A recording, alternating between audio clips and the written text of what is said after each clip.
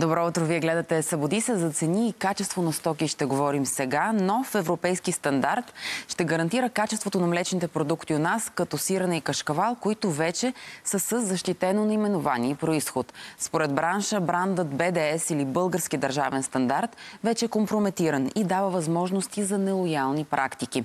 Сега за това от Мартин Георгиев, а за маслото след малко с Биляна Борисова. Марти към теб. Здравей, темата за български държавен стандарт и защитено наименование и происход на млечните продукти, като сирене и кашкевал. Ще коментираме и дискутираме с Симеон Караколев, председател на Националната овцевъдна и козевъдна асоциация и Българската аграрна камера. Какво значи сега БДС, защитено наименование на происход? Каква е разликата? Какво да търсим?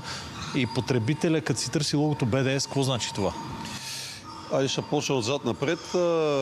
Потребителят е свикнал, поне толкова години да търси БДС, като това за него е някакво качество за продукта, който консумира.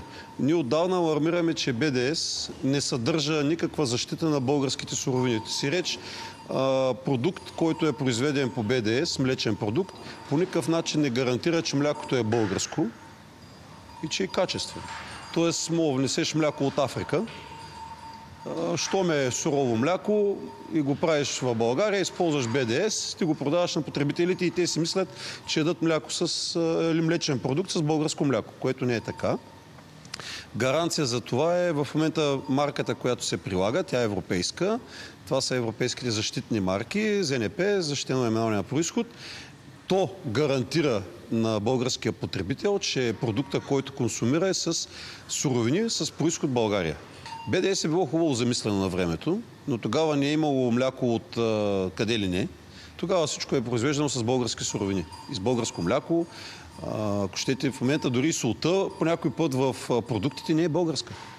А, това е жалкото. А БДС отваря вратичка на подобни, а, как да кажа, преработватели, които продължават с това да правят продукти с не българско мляко и да използват БДС, като едва ли не някаква вратичка. По този начин потребителя си мисли, че купувайки продукт по БДС, той си купува или подпомага българското производство. Не, не го подпомага. В момента, след като влезе европейски регламент, БДС остава единствено само като една марка БДС, т.е. като маркетингов похват.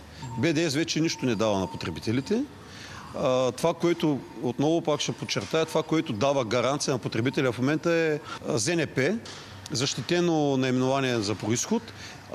БДС в момента се използва отново за забуда на потребителите.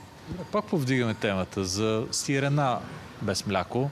70-80% вода в тях съдържание.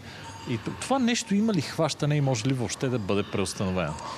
Това нещо има как да се хване, стига да има воля от страна на държавата. Но с, а, в момента за такъв закон или с такива нормативни уредби, които глобяват този, който си позволява да заблуждава потребителя по такъв а, агресивен начин, с 500 до 2000 лева ние няма как да постигнем никакъв контрол върху подобни практики. Продължаваме да ядем продукти с над 80% водно съдържание. Продължава се консумацията на продукти с етикет, примерно да речем овче сирени или овче кашкавал. В него овчето е само на картинка. Като цяло Национална овцевъдна и козевъдна асоциация стартира кампания след нова година. В момента договаряме с немски акредитирани лаборатории. Една от Германия лаборатория най-така специално, която, на която ще даваме два пъти в месеца по пет проби, случайно избрани продукти с наименование овче сирене, за да установяваме с, реално с колко и по какъв начин се манипулират потребителите. Това нещо трябва един път за винаги да му бъде сложен край. Симеон Караколев за българския държавен стандарт, който вече е минало или е по-скоро само някаква марка, която не бива да ни подвежда. ЗНП е новото наименование, което ще гарантира и би трябвало да гарантира качество на сирене и кашкавал. Мартин Георгиев, благодаря ти. Поговорихме за сиренето, за кашкавала. Сега